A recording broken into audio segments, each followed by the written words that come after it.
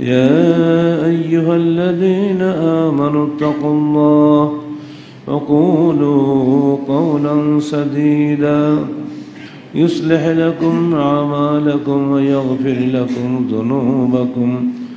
ومن يطع الله ورسوله فقد فاز فوزا عظيما. أما بعد فقد قال الله تعالى في الكلام المجيد فأعوذ بالله السميع العليم من الشيطان الرجيم. بسم الله الرحمن الرحيم. يا أيها الذين آمنوا كلوا من طيبات ما رزقناكم واشكروا لله إن كنتم إياه تعبدون সুরে বকর একশো বাহাত্তর আয়াত যাবতীয় হামদোসানা আল্লাহ রবুল আলমিনের জন্য এবং যাবতীয় দরুদ সালাত শেষ নবী মোহাম্মদ রসুল্লাহ সাল্লাহ আলহি ওসাল্লামের জন্য আজকের প্রসঙ্গ মৌজুদ্দারি সারা দেশ পেঁয়াজের ঝাঁজে ব্যতিব্যস্ত হয়ে গেছে, সে সঙ্গে শুরু হয়েছে ওর লবণ। আরও যে কত হবে আল্লাহ জানে।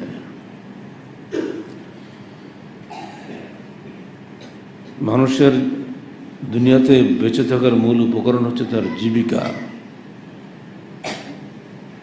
জীবিকা যদি হালাল হয়, তার জীবনটা হয় সুখী এবং পরকালটা হয় জান্নাতি। জীবিকা যদি হারাম হয়, জীবনটা অসুখী, পরকালটা হবে জাহান্নাম। লাদুল জান্নাতা জাসাদুল উদ্দিয়া বিল হারাম। ওই দেহ কখনো জান্নাতে প্রবেশ করবে না। যে দেহ হারাম খাদ্য দ্বারা পরিপুষ্টি লাভ করেছে। সে কারণ জীবিকার বিষয়টি অত্যন্ত গুরুত্বপূর্ণ। আর জীবিকাকে হারাম জীবিকায় পরিণত করার যতগুলো মাধ্যম আছে তার অত্যন্ত গুরুত্বপূর্ণ মাধ্যম হচ্ছে মজুদারি। অর্থাৎ আল্লাপাক বাংলাদেশে রুজির অভাব রাখেন নাই। শুধু বাংলাদেশেই নয়, পৃথিবীর কোনো প্রান্তে রুজির কোনো অভাব নাই। কারণ আল্লাপাক নিজেই রুজির দায়িত্ব গ্রহণ করেছেন। অমামিন দাবাতিন ফিল আল্লাহ আল্লাহ বলছেন যে, পৃথিবীতে বিচরণশীল এমন কোনো প্রাণী নেই যার রুজির দায়িত্ব আল্লাহের নেই। অতএব রুজির বিষয়টা আমরা যদি বলি যে এখন পেঁয়াজ নেই দেশে ইনডাইরেক্টলি দায়ী কিন্তু আল্লাহই হন, আল্লাহ পেঁয়াজ উৎপাদন করেন নাই। না, আল্লাহ পেঁয়াজ ঠিকই দিয়েছেন, যা লাগবে বাংলাদেশের মানুষের জন্য ঠিকই পেঁয়াজ উৎপাদিত হচ্ছে। পেঁয়াজ আছে রসুন আছে লবণ আছে, সবই আছে। রাজশাহীর পানিতে লবণ তৈরি হয় না, কক্সবাজারের পানিতে লবণ তৈরি হয় কেন? এই কেন কোনো জবাব দিতে পারবেন? আল্লাপাক এক এক এলাকায় এক একটা জিনিস সৃষ্টি করেন যাতে সব এলাকার মানুষ, সব এলাকার মানুষের প্রতি মুখাপেক্ষি হয়। যে এক এলাকায় আল্লাহ সবই দিয়ে দেন, তো অন্য এলাকার লোকরা তো আপনার মুখাপেক্ষি হবে না। রাজশাহীতে আম দিয়েছে, বরিশালে ইলিশ মাছ দিয়েছে, কক্সবাজারে লবণ দিয়েছে। এক এক জায়গায় এক এক জিনিস আল্লাহ দিয়ে রাখছেন। পুরো উত্তরবঙ্গে একে একে বলা হয় ধানের ভাণ্ডার। চাউলের ভাণ্ডার। এখানে চাল না হলে মানুষ খাবে কি? এক এক জায়গায় এক এক জিনিস আল্লাহ দিয়ে দিয়েছেন। এখন যদি আপনি সেগুলো নিয়ে জমা করে রাখেন তো অটোমেটিক্যালি অভাব আসবেই। এই মজুদদারি করে ব্যবসায়ীরা। আর এই ব্যবসায়ীদের সম্পর্কেই জান্নাত জাহান্নাম সবই আছে। কে আমাদের দিন সৎ ব্যবসায়ীরা আল্লাহ পাকের ডান হাতে নূরের সিংহাসনে বসবেন। এই হাদিস জানার পরে কোনো ব্যবসায়ী কি অসৎ হওয়ার সুযোগ থাকে না। যেখানে নবী, রসুল, শহীদ, সিদ্দিকরা বসেন, সে সর্বোচ্চ সম্মানিত আসনে একজন ব্যবসায়ী বসতে পারেন, যিনি কখনোই মাদ্রাসার দরজায় বাঁধেন নেই। শুধু সৎ ব্যবসায়ী হওয়ার মাধ্যমে তিনি অত্যন্ত উচ্চ সম্মান লাভ করতে পারেন যদি তিনি সততার সঙ্গে ব্যবসা করেন। আর এইটা ঠিক উল্টে যাবে। দুনিয়াতে বহু টাকা পয়সা কামিয়েছেন, কিন্তু আপনি হবেন সবচেয়ে নিকৃষ্ট ব্যক্তি। কারণের মতো।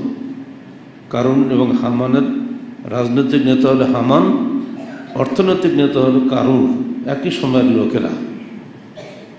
এদের সম্পর্কে আল্লাহাক কোরআনে আয়াত নাজিল করেছেন। যদি আল্লাহাক কোরআনে এগুলো আমাদেরকে না বলতেন, আমরা জীবনেও খোঁজ পেতাম না কারণকে হামানকে, ফেরাউনকে, নমরুদকে, কিছু জানতে পারতাম না। সেখানে তিনি দেখিয়েছেন, মূলত কারণ বনু ইসরায়েলের লোক, অর্থাৎ মুসার আপন চাচাতো ভাই। মুসার বাপ আর কারণের বাপ, আপন দুই ভাই। ইতিহাসটা মনে রাখবেন।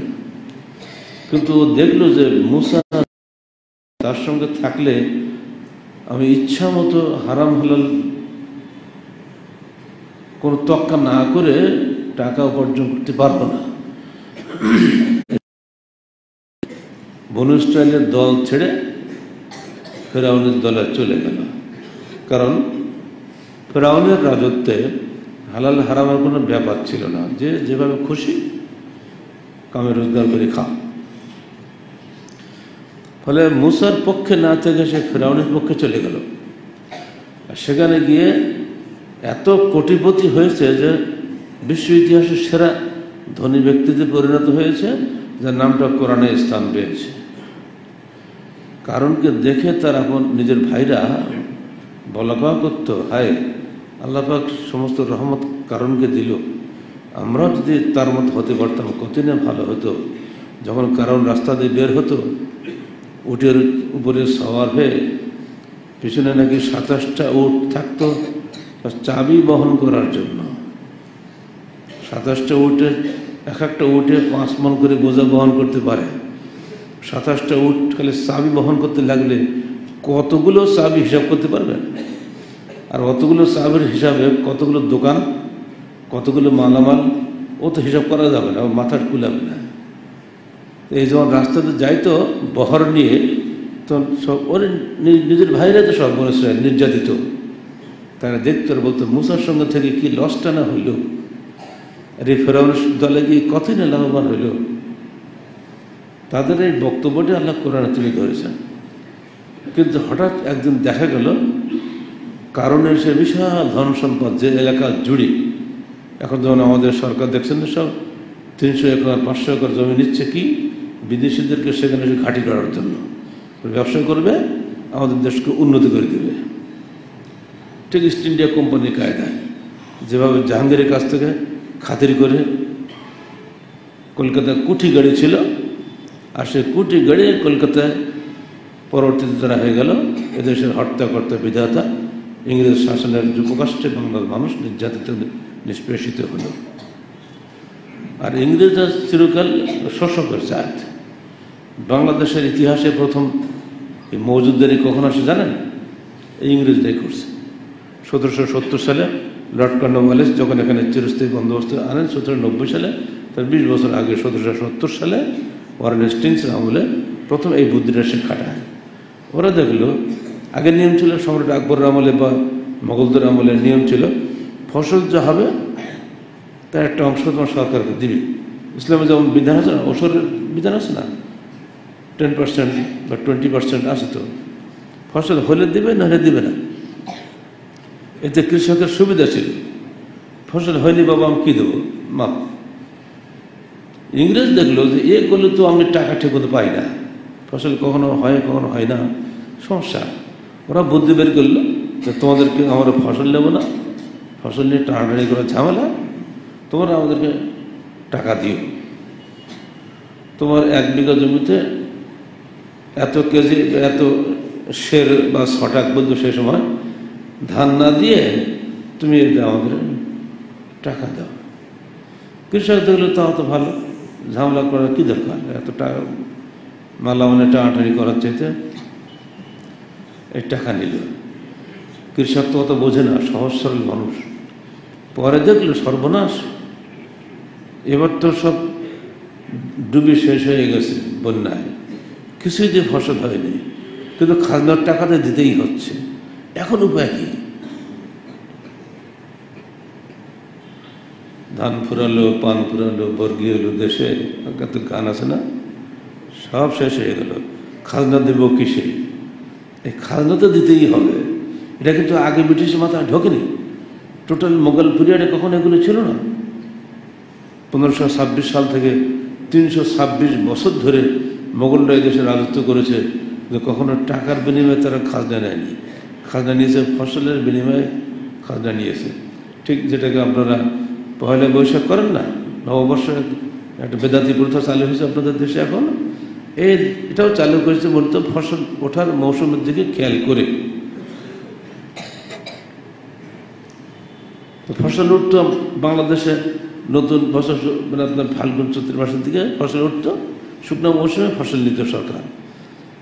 তো সেটা করতে গিয়ে দেখা গেল যে এদেশে শকাব্দের দ্বিতীয় মাস হলো বৈশাখ। মূল উদ্দেশ্য হলো ফসলের মাধ্যমে খাজনা আদায় করা। সেইটাকে এখন ঘুরি ফিরে হয়ে গেছে নাকি হাজার বছরের বাঙালির শ্রেষ্ঠ উৎসব। এই সমস্ত মিথ্যা কথাগুলো রেডিও যখন যারা বলে দেখ- করুণা হয়, এরা কি ইতিহাস? এমনি করে বিকৃত হয় যে কল্পনা করা যায় না। কিন্তু এখানেও হিন্দুত্ববাদী সংকীর্ণতা পুরোপুরি আছে। যখন স্বাধীন হলো দেশ, তখন বর্ষের পশ্চিমবঙ্গের ভাইরা দেখল পয়লা বৈশাখ আমার সঙ্গে মিলবে না। ওদের ছিল ওটা শকাব্দের চৈত্র মাস, বাংলাদেশে তখন বৈশাখ মাস। আমাদের যখন পহেলা বৈশাখ, ওদের তখন পহেলা চৈত্র। ফলে বাং ঢাকাতে যখন পয়লা বৈশাখ হয় কলকাতায় তার এক মাস পরে গিয়ে হয়। মুখে খুবই বাঙালি বাঙালি চিল্লাচিল্লি করেন। কিন্তু এইখানে যে কখনের মানতে রাজি নেই ওরা ধর্ম আগে, তারপরে যে বৈশাখ পরে। বাংলাদেশের মুসলমানদের কাছে ধর্মকর্ম জাহান্নাম যাক, বৈশাখ টিকে থাক। এটা আজীব চিজ এদেশের লোকেদের। অবশ্য সবাই না, এ যারা করে, তারা তো মাথায় বসে থাকে আপনাদের ভোট নিয়ে। ইতিহাস সচেতন ব্যক্তি ভালো করে জানেন, এগুলো সব হিন্দুয়ানি চক্রান্ত। বাংলাদেশের মুসলমানকে এসব ঘুম পাড়ানি মাসে বেশি গান শুনিয়ে তাদেরকে ধর্মচ্যুত করা এদের মূল উদ্দেশ্য। প্রসঙ্গ ছিল ফসল। ফসলের মাধ্যমে খাজনা দেয়। এটা ছিল চিরাচরিত রীতি। এই রীতির পরিবর্তন ঘটালো ইংরেজ সতেরোশো সত্তর সালে উনসত্তর সালে। তারপরে শুরু হলো চারদিকে দুর্ভিক্ষ। উইলিয়াম উইলসন হান্টার তার রিপোর্টের মধ্যে এ বিষয়ে দারুণ লেখা লিখেছেন। তার একখানে তিনি বলছেন মানুষ এত মরা শুরু করল যে তাদের শেষকালে লাশ কি বলে দাফন করার জায়গা হচ্ছিল না। এক একটা গর্তের মধ্যে একশো, দুশো, তিনশো লাশ ফেলে চাপা দেওয়া হতো। এরপরও দুর্গন্ধে আরও মানুষ ডায়রিয়াই মারা যেত। খেতে পেত না। ওই সময়গুলো ইতিহাসগুলো আপনারা পড়বেন। আর তাহারিকে রিপোর্ট গিয়েছে গত মাসে এই মাসেও এগুলি দেখবেন আমাদের লেখনীগুলা, প্রবন্ধগুলা। খাজনা কিন্তু মাপ হয়নি কৃষক খেতে না পেয়ে যা কিছু ফসল হয়েছে, সব কিছু খাজনার পিছনে দিয়ে দিচ্ছে সরকারকে। নিজেরা না খেয়ে মরে আছে। এই দুরবস্থা সেই সেই সময় ঘটেছিল যখন এদেশে ইংরেজরা ক্ষমতা হাতে নেয়। এরপরে আবার উনিশশো তেতাল্লিশ সালেও ঠিক একই অবস্থা ঘটেছিল। এটা শেখ মুজিবের অসমাপ্ত আত্মজীবনী বইয়ের সত্তর আঠারো পৃষ্ঠে আপনারা পাবেন। তিনি তার জীবনের ইতিহাস লিখেছেন। সেই সময় এই হিন্দু মজুদাররা কীভাবে মুসলমানদেরকে নির্যাতন করেছে, দেখে না তোমরা। মুসলমানরা তবু হাদিস মানার ভয়ে কিছুটা সামাল থাকে। ইংরেজিকে হাদিস মানে নাকি? ওরা কী কী লুটপাটকে খাবে সেই তালেই থাকে। ফলে নেমে এলো উনিশশো ছেচল্লিশ সাল। দেশ স্বাধীন হয়ে গেল। সবাই মনে করলে এখন আমরা বাঁচলাম। ইসলামী বিধান মতো দেশ চলবে। সুদ থাকবে না, ঘুষ থাকবে না, মজুদদারি থাকবে না। ওরে বাপ রে বাপ। দ্বিগুণ উৎসাহে, স্বাধীনভাবে মজুদদারি শুরু হলো, সুদ শুরু হলো, সবই শুরু হলো। ইসলামের কিছুই আর থাকল না। পাকিস্তানের প্রথম আইনমন্ত্রী হলেন একজন শিয়া, কাদিয়ানি। প্রথম প্রধানমন্ত্রী একজন শিয়া। কি চমৎকার পাকিস্তান। প্রেসিডেন্ট শিয়া, প্রধানমন্ত্রী শিয়া, আইনমন্ত্রী কাদিয়ানি, এই হলো পাকিস্তান। অথচ কে না জানে যায় পাকিস্তানের অধিকাংশ জনগণ সুন্নি মুসলমান? পশ্চিম পাকিস্তান হোক আর পূর্ব পাকিস্তান হোক, সবাই সুন্নি নয় কি? কিন্তু ক্ষমতায় বসল কারা? শিয়া এবং কাদিয়ানি। বসালো কারা এইসব নির্বাচন তো ফালতু নির্বাচন। সবসময় তো প্রতারণা, একটা সেট। বসিয়েছে সেই ইংরেজরা যারা দেশ ছেড়ে চলে গেল তাদেরই তল্পি বাহক লোকগুলোকেই এদেশের স্বাধীন পাকিস্তানের নেতা বানিয়ে দেওয়া হলো।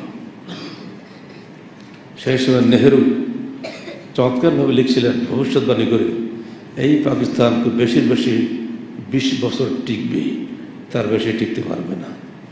নেহরু সেই পরিকল্পিত পাকিস্তান চব্বিশ বছরই শেষ। কারণ তিনি জানতেন, একটা ট্রেন চলে ইঞ্জিনের মাধ্যমে, তাই না? ড্রাইভিং সিটে যেটা মাতাল বসে, সে কি গাড়ি ভালোভাবে চালাতে পারবে? সিটে যাদেরকে বসানো হচ্ছে যারা বসাচ্ছে, তাদের সঙ্গে সাধারণ দিনদার মুসলমানের কোনো সম্পর্কই নেই। অতএব মুসলমানদেরকে স্বাধীনতার ডোজ দিয়ে ভুলিয়ে স্বাধীন দেশ কায়েম করে স্বাধীনভাবে ধ্বংস করবে না ঠিক সেটি হয়ে গেছে। চিন্তাশীল কোনো জ্ঞানী মানুষের মাধ্যমে পাকিস্তানও পরিচালিত হয়নি। আমাদের স্বাধীন দেশে কীভাবে চলছে তো আপনার এই সাক্ষী। কোন কারণে হঠাৎ করে পেঁয়াজের দাম বাড়বে? কোনো কারণে হঠাৎ। লেখা আছে দোকানে পেঁয়াজের হালে বিশ টাকা। বাংলার মানুষ জীবনে যা কখনো দেখেনি। হঠাৎ করে গুজব রটে গেল, লবণ আড়াইশো টাকা কেজি। কি হচ্ছে? মিশর থেকে একেবারে ইয়ার বাসে করে পঞ্চাশ হাজার টন পেঁয়াজ আসতেছে। শুনি লাভটা কি? ওগুলো নেবে কে? ওই নেবে ওই মজুদদারের কাছেই তো আবার যাবে। উনি আবার মজুদ করবে, আবার পেঁয়াজ দাম বাড়াবে। হ্যাঁ যদি আল্লাহর জমিনে পেঁয়াজ হয়, এখন তো শীতকালে এসে গেছে অটোমেটিক দাম কমবে, এখন ক্রেডিট হয়ে দেখো, আমরা ব্যবস্থা নিয়েছিলাম বলেই পেঁয়াজ দাম কমে গেছে। আল্লাহর কোনো মূল্যই নেই, সব আমরাই তো করি ভাবকানেই ফেলে আসা সেই ফেরাউনি আর হামান, আর কারণের যে ইতিহাস কোরআনে এসেছে, সেই ইতিহাস এখনও চলছে। সাবধান মুসলমান, দুনিয়া আমরা বেশি দিন থাকব না, মরতে হবে। আমরা দুনিয়াকে অগ্রাধিকার দিন আখরাতে অগ্রাধিকার দিয়ে থাকি। এই জন্য আল্লাহ পাক বলে দিচ্ছেন ইয়া আইয়ুল্লাযীনা আমানু, হে ইমানদারগণ হে বেঈমানগণ, কিন্তু আল্লাহ পাক কোরআনে কোথাও বলেনি। বলেছে? পাবেন কোথাও? হে ফাসেকগণ, হে চোরগণ, হে ডাকাতগণ, আছে কোরআনে কোথাও? কোথাও নেই। কারণ আল্লাহ জানে ভালো করে যে আমার এই কোরআন বিশ্বাস করে তারাই, যারা ইমানদার বেঈমানদের বলে তো কোনো লাভ নাই। হে ইমানদারগণ কুলু মেন তৈবাতে মারা যাক না কম তোমরা ভক্ষণ করে পবিত্র বস্তু যা আমি তোমাদেরকে রিজিক হিসেবে দিয়েছি অস্করুলিল্লাহ এবং এতে শুক্রিয়া আদায় করো, বেশি লোভ করতে চেও না। তোমার রুজি হিসাব করা, তার বাইরে তুমি পাবে না। যা দিচ্ছি, এতেই শুক্রিয়া আদায় করবা। ইনকুম তুমি ইজ্ঞা হতে আবেদন যদি তোমরা সত্যিকার অর্থে আল্লাহর ইবাদত করে থাকো। খালি সালাদ পড়ব আর চুরি করব। কিছু সালাদ ওগুলা? সুরা বাকর একশো বাহাত্তর আল্লাহ নিজে পবিত্র, তিনি পবিত্র বস্তু ভিন্ন কবল করেন না। নাপাক মানুষ, নাপাক ইনকাম নাপাক জীবিকা কখনো আল্লাহ গ্রহণ করবেন না।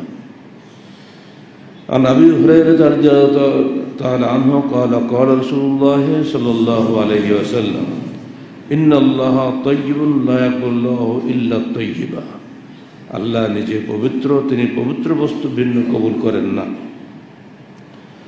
ثم ذكر الرجل يطيل السفر أشعث وأكبر يمد يديه إلى السماء يا رب يا رب অতপর আল্লাহ রসুল একটু উদাহরণ দিয়ে বললেন দেখো একজন মানুষ লম্বা সফর করে বাড়ি আসছে। আসার পরে তখন তার চুলটা হইল উস্কো খুস্কো। তার চেহারা অত্যন্ত মলিন।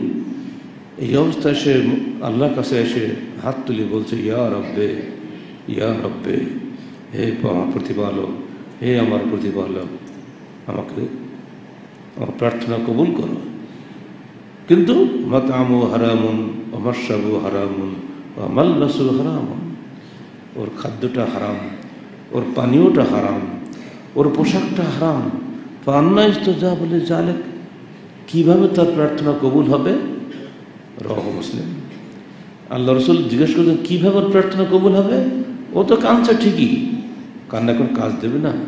এই জন্য ওর খাদ্যটা হারাম, পানীয়টাও হারাম, পোশাকটাও হারাম। হারাম করার দোয়া কখনো কবুল হয় না। এই হাদিসটা যথেষ্ট নয়? আর কিছু লাগে? এবার দেখেন, পরিণতি শোনেন। আমরা অনেকে মনে করি, এখন তো শীতকালের মৌসুম। চারদিকে ইসলামী জলসা, মাদ্রাসা উন্নয়ন কল্পে, মসজিদ উন্নয়ন কল্পে, তাছাড়া এমনিও ওয়াজ মাহফিল। হতেই আছে সব জায়গায়। এলাকার যিনি কোটিপতি, পোস্টারে তার নাম হয় দানবীর। তাদেরকে করা হয় প্রধান অতিথি। মনের কামনা যদি দয়া করে একটু টাকা বেশি করে দেন। উদ্দেশ্য, তাকে খুশি করে টাকা নেওয়া। আদেশটা মনে রাখবেন, ভালো লাগবে আপনাদের। قال قال رسول الله صلى الله عليه وسلم من اكتسب مالا من مأثم فوصل به رحمه وصدقه وتصدق به وأنفقه في سبيل الله جمع ذلك كله جميعا فقذف به في جهنم صحيح الترغيب সতেরোশো একুশ নম্বর আদেশ মনে রেখো, যে ব্যক্তি গুনাহের পথে অর্থ উপার্জন করল, অতপর সেটা দিয়ে আত্মতার সম্পর্ক রক্ষা করল, সেটা দিয়ে সে আল্লাহর পথে সাদাকা করল, সেটা দিয়ে আল্লাহর পথে অনেক অনেক জনকল্যাণমূলক কাজ করল। মনে রেখো জমে আজালিকা কুল্লুহু জামিয়ান। কে আমাদের দিনে সবগুলোকে একত্রিত করা হবে। জাহান্নাম। অতপর তার এই যাবতীয় সাতকা সহ তাকে জাহান্নাম নিক্ষেপ করা হবে।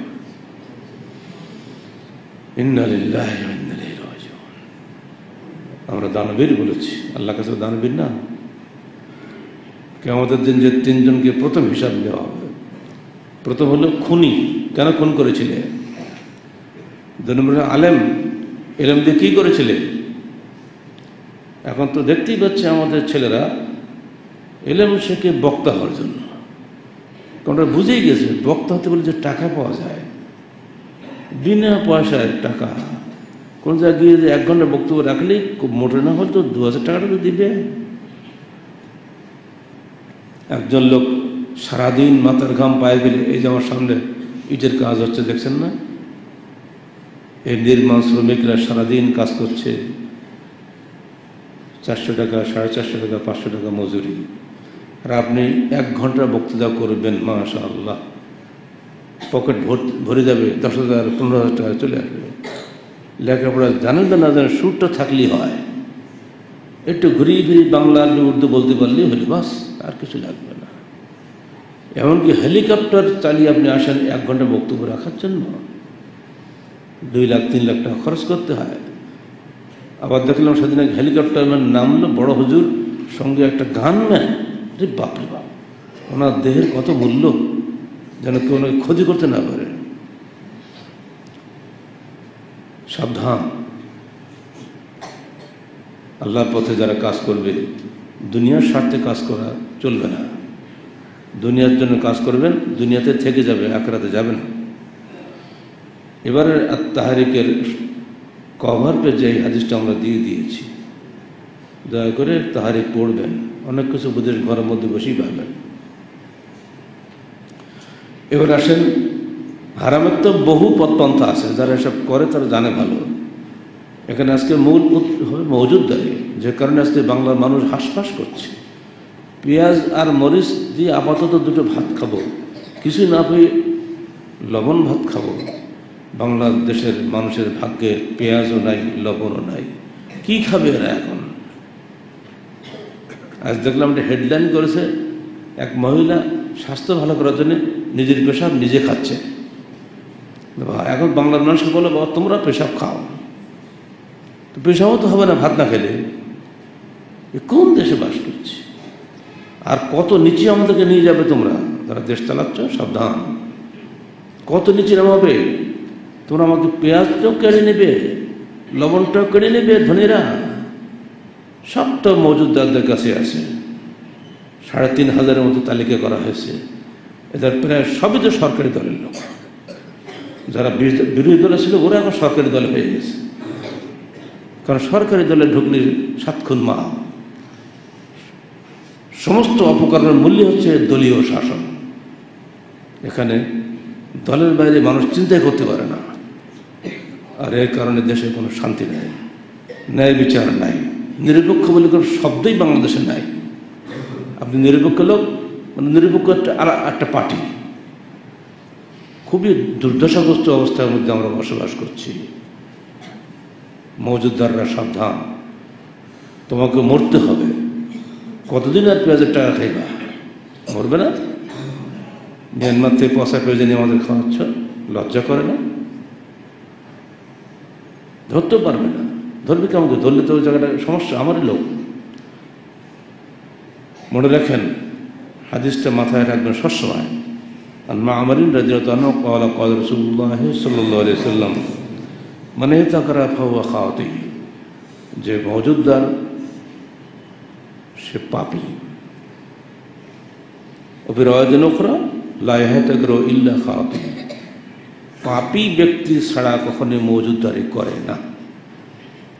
আপনি ভাববেন, কালকে মাল কিনবো, আজকে বিক্রি করবে, একদিনও কি মজুদার হবে নাকি? জি না, এটা মজুদার নয়। বাজারকে ক্ষতি করার উদ্দেশ্যে যখন আপনি মজুদ করবেন তখন এটা হবে। নর্মাল বাজার চলছে আল্লাহ রসুলের জমানায়। হঠাৎ দাম বেড়ে গেল। সাহাবেকরাম বললেন, হে আল্লাহ রসুল, আপনি দাম বেঁধে দেন আল্লাহ রসুল জবাব দিলেন যে, না, আল্লাহ পাক নিজেই রুজির সংকুচিত করেন, রুজি বৃদ্ধি করেন। তার হাতেই সব কিছু আমি দাম বেঁধে দেব না। অর্থাৎ দাম বেঁধে দেওয়াটা কোনো সমাধান নয়। এটা সাময়িক সমাধান হতে পারে, অ্যান্টিবায়োটিকের মতো। স্থায়ী সমাধান নয়। স্থায়ী সমাধান হলে একটাই, চাহিদা এবং যোগানের মধ্যে সামঞ্জস্য বিধান করা। যাতে যোগান ঠিকমতো হয়, সেই দিকেই আমাদের কর্তৃপক্ষের নজর রাখতে হবে। কৃষক যেন ঠিকমতো আবাদ করতে পারে, কৃষকের আবাদ যেন যত যতভাবে বিক্রয় হয়, কৃষক যেন অর্থ পেয়ে খুশি হয়। আজকে মোহনপুরের আর কি বলে ওটাকে, তানোরের আলু বা কফি বা ফসল বা সবজি রাজশাহী আসতে যদি বিশ গুণ টাকা বেশি লাগে, তো ওই কৃষকরা তো যারা মাথার ঘাম পায়ে ফেলে উৎপাদন করল, তারা তো কিছুই পারল না। আমাদের দায়িত্বশীল যারা আছেন, সরকারের, তাদের বড় কর্তব্য হবে কৃষকের কাছ থেকে সরাসরি ন্যায্য মূল্যে খরিদ করা, যেন টাকাটা তারাই পায়। মাঝখানে মধ্যস্বত্ব ভোগীরা যেভাবে দেশটা শেষ করে দিচ্ছে, সে হোক আপনার নিজের দলের লোক কোনো অবস্থায় এগুলো খাতির করবেন না। মাননীয় প্রধানমন্ত্রী যে নিরপেক্ষতা করছে, এইমাত্র এখন দিচ্ছেন। এইটা যদি অব্যাহত থাকে, সারা দেশ বোধহয় ছয় মাসের মধ্যে কন্ট্রোল হয়ে যাবে। যদি তিনি এটা এইভাবে রাখতে পারেন, আল্লাহ ভালো জানেন, তকদিরে কি আছে আমাদের। সবার জন্য আমরা দোয়া করি, যারা প্রশাসনে আছেন, আল্লাহ তাদেরকে কঠোরভাবে দেশ শাসনের, নিরপেক্ষভাবে দেশ শাসনের তৌফিক দান করুন। কারণ আমরা যতই বলি, আমাদের হাতে তো ক্ষমতা নেই। আমরা সেটা উপদেশ দিতে পারি। যারা প্রশাসনে আছেন, যারা ক্ষমতায় আছেন, তাদেরকে যদি আল্লাপাক সঠিকভাবে পরিচালিত করেন, অন্তত ইমানদার জনগণের স্বার্থে, তাহলে দেশ সুন্দর হবে। নইলে কোনো উপায় নেই। মজুদ্দারের ইতিহাসটা আপনার শুনলেন। এটা কিন্তু ভারতীয় ইতিহাস। আগেও ছিল মজুদার চিরদিনের জন্য আছে। কিন্তু এরকমভাবে ডাইরেক্ট সুচতুরভাবে ফসলের বিনিময়ে টাকা দিয়ে, টাকার বিনিময়ে পরবর্তী বছর ওই দাম বেড়ে গেলে আবার খরিদ করে দেশ, মানুষকে শেষ করে দিয়ে, এরকম ইতিহাস বিশ্বে খুব কমই আছে। কারণ ব্রিটিশরা জানে, আমরা তো আজও কাল চলে যাবই। মানুষ মরে মরুক টাকা মতো চাই। এদেশের মানুষের প্রতি তাদের কোনো দরদ ছিল না। কিন্তু আমাদের দেশের মানুষ তো আমাদেরই। আমাদের সরকার কি আমাদের নয়? যাবে কোথায়? তাদের চাচা ভাজা আত্মীয় স্বজন সবই তো আমরা এক জায়গায় বসবাস করি। অতএব আমরা আশা করব এই মজুদদারি যেন দেশে টেকসই না হয়। আশা করি প্রত্যেকটা ভাই, বোন যারা আছেন বিভিন্ন পর্যায়ে, সবাই মজুদদারি থেকে দূরে থাকেন। অনেকের একটা ধারণা আছে এই চল্লিশ দিন রাখা যায়। এটা নাকি হালাল? এই বুদ্ধি আপনাদের মাথায় কে শিখল? আল্লাহ জানে। চল্লিশ দিন আপনি এক বছর রাখতে পারেন। নিজের সংসারের প্রয়োজনে মজুদদারির উদ্দেশ্য না রেখে, বাজারের দাম বাড়ানোর কোনো উদ্দেশ্য না রেখে, আপনি যদি মনে করেন আপনি এক বছর দেখেন বাড়িতে, ধান রাখেন, চাল রাখেন, কোনো সমস্যা নেই। কিন্তু যদি মনে করেন যে মজুদ করলেই দাম পাঁচ গুণ হবে কালকে, এইটা যদি চিন্তা থাকে আপনি শেষ। এটা হলো মজুদদারি বাজার ক্ষতিগ্রস্ত করার উদ্দেশ্যে যদি কেউ এগুলো করেন তবে তিনি দুনিয়া হারাবেন, আখরাতও হারাবেন। আজকাল কোলেস্ট্রল তো আপনার ভালো করে বুঝেন। ব্লাড ঠিক সার্কুলেশন হচ্ছে কিনা দেখা হয় না এবং রিং করানো শুরু করছে না। কারণ ব্লাড ঠিক মতো সার্কুলেশন হচ্ছে না, বেঁধে যাচ্ছে।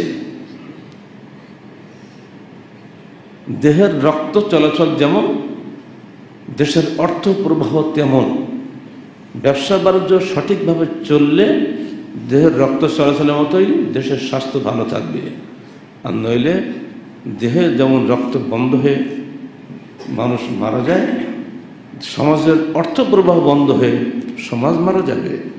অতএব ব্যবসায়ীদেরকে আমরা বলব, ইবনু মার সে আদেশটা মনে করে দিতে মন চায়, ইবনু মার বাজারে যে ডাক্তার, ইয়া ইয়াল তোজ্জার আন্তমুল ফজ্জার। হে ব্যবসায়ীরা, মনে রেখো, তোমরা কিন্তু ফাঁসে ফাজের সাবধান, হালাল পথে ব্যবসা করো।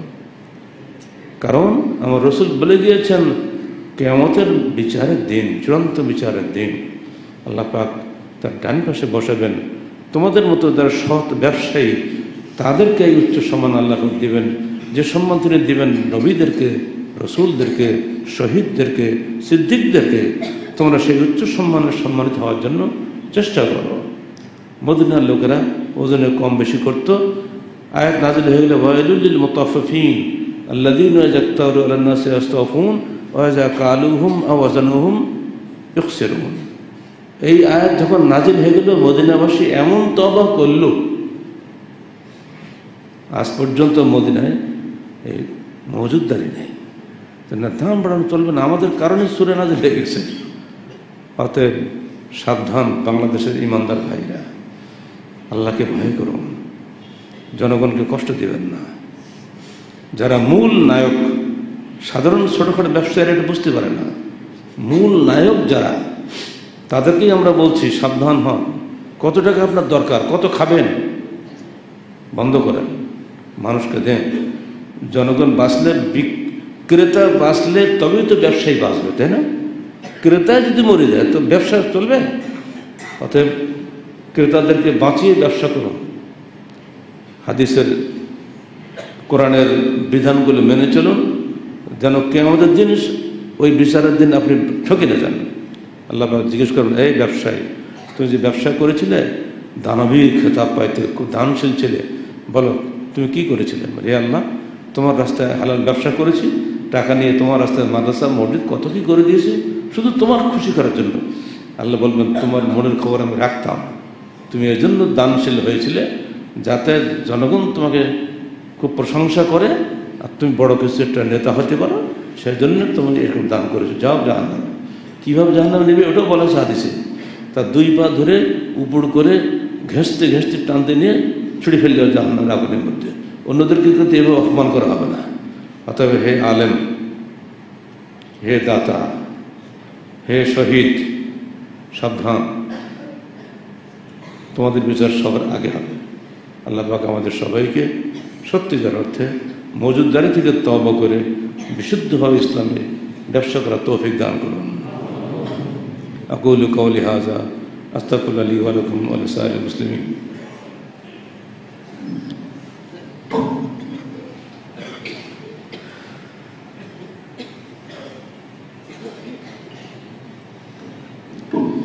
الحمد لله الحمد لله نحمده ونستعينه ونستغفره ونؤمن به ونتوكل عليه. ونعوذ بالله من شرور أنفسنا ومن سيئات أعمالنا. من يهده الله فلا مضل له ومن يضلل فلا هادي له.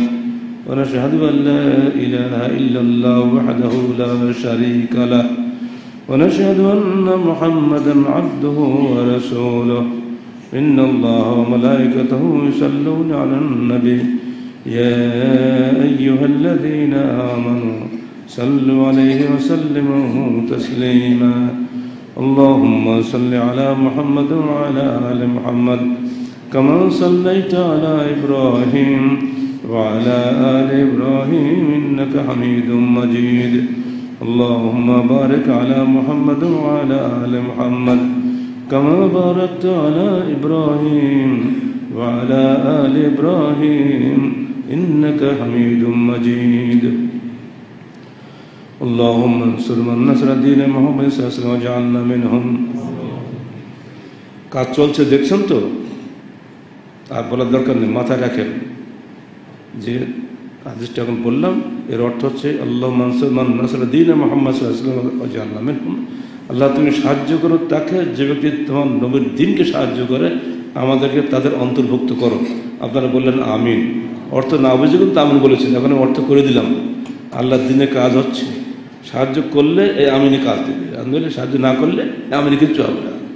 আল্লাহ মনসুলমান দিন মোহাম্মদ আসলাম জাহাল্লা মিন খাজানা দিন মোহাম্মদ আসলাম জাহাল্লা মিন হোম এবার আল্লাহ রাহিমাকুমুল্লাহ।